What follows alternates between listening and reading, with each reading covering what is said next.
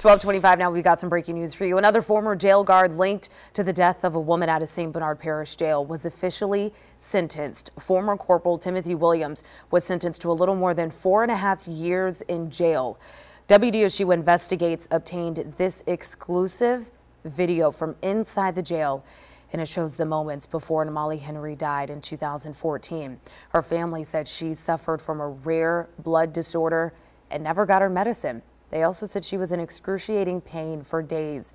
Yesterday, we told you Deborah Becnel was sentenced to three months. Lisa Vaccarella was sentenced to a little more than a year and a half. Both of those employees pleaded guilty to lying to federal investigators. WDSU reporter Aubrey Killian will have more on this for you tonight in our later newscast.